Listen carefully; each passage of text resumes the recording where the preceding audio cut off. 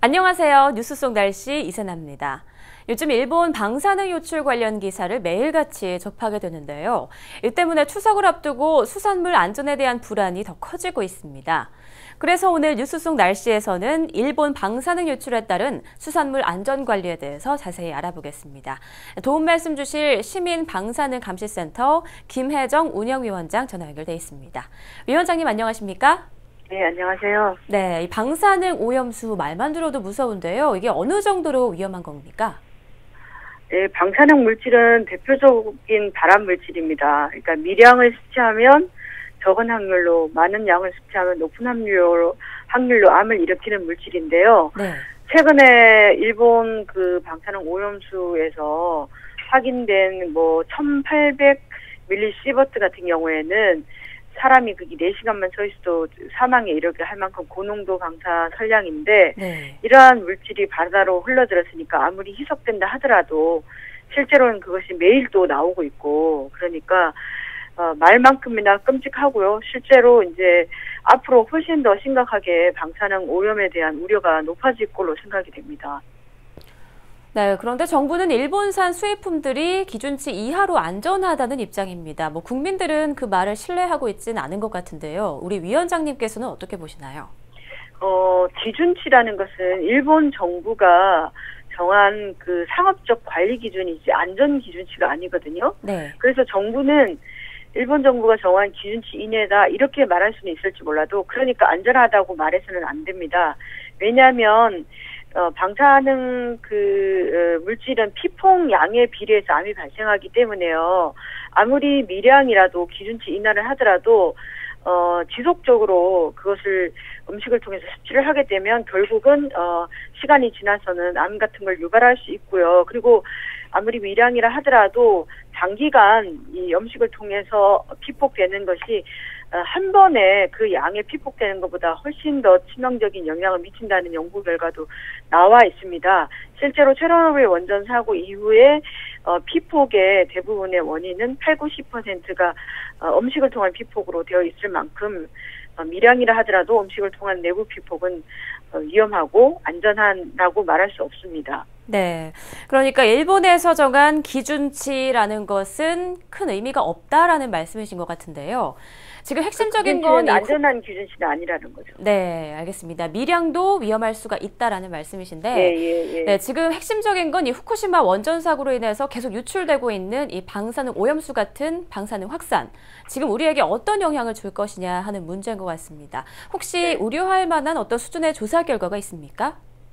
지금 아직까지 뭐 우리나라까지 이 방사능 오염수가 왔다는 연구 결과는 없고요. 네. 그렇지만 뭐 내년에는 올 수 있다 이런 예측들 시뮬레이션 결과들은 있습니다.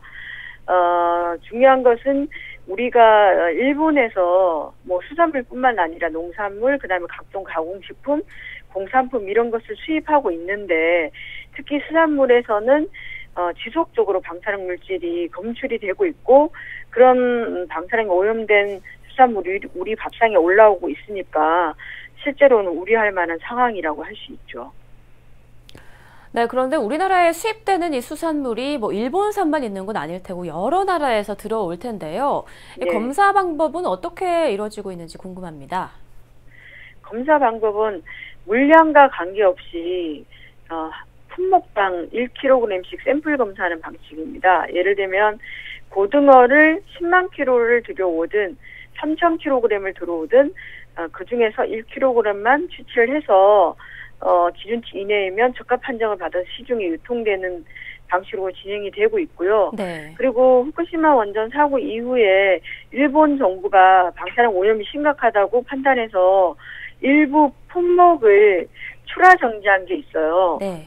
그게 농산물 같은 경우에는 13개 지역에 26개 품목이고 수산물은 8개 현에 50개 품목인데 우리나라는 자체적으로 수입을 정지한 건 없고 일본 정부가 정한 이 출하금지 품목을 그냥 받아들여서 하고 있는 상황입니다. 그러니까 바꿔 말하면 이 품목 외에는 후쿠시마에서 생산된 수산물, 농산물, 다른 가공식품도 다 들어올 수 있으니까 기본적으로 검역 체계도 큰 허점이 있다고 말씀드릴 수 있죠.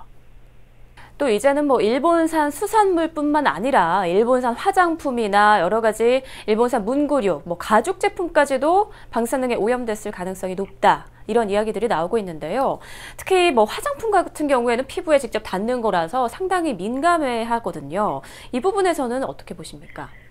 일본이 그 방사능에 거의 사실상 모든 지역이 오염됐기 때문에 일본에서 생산되는 어, 공산품도 시민들이 걱정하는 거는 뭐 저는 당연하다고 보고요. 지금 러시아 같은 경우에는 일본의 극동 지역, 그 러시아의 극동 지역에서 들어오는 어, 공산품 중에서 자국 기준치를 초과하는 공산품을 314점 중에서 280점 넘게 반송한 사례도 있습니다. 그리고 대만의 가오슝이라는 세관에서는 지난 그, 어, 컨테이너, 지난 이제 세관 검사를 하는 동안에 오염된 컨테이너 220개 중에서 그 중에 태반이 일본에서 온 것이라는 것도 확인이 된 만큼 사실상 일본에서 오는 공산품도 어, 우리나라가 금융 체계를 강화해야 된다라는 건 외국 사례가 보여주고 있고 사람들의 우려가 다 이런 부분에서 나오는 것이라고 저는 판단을 합니다. 네.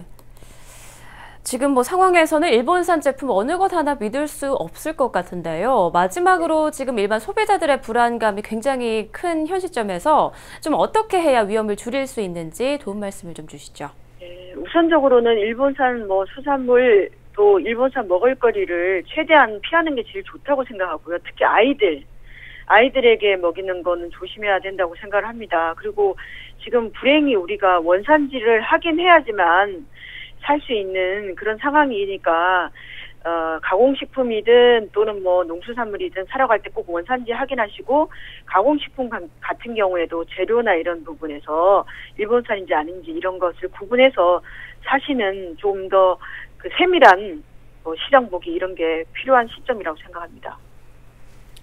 네, 알겠습니다. 위원장님 오늘 말씀 고맙습니다. 예, 감사합니다. 국립수산물 품질관리원에 따르면 일본 후쿠시마 원전 방사능 오염수가 한국 연안까지 도달하는 데 10년 정도가 걸리기 때문에 국내산 수산물은 믿고 먹어도 된다고 말하고 있습니다. 하지만 국민들의 불안감을 해소하기 위해서는 지금보다 더 강화된 안전 대책이 필요해 보입니다.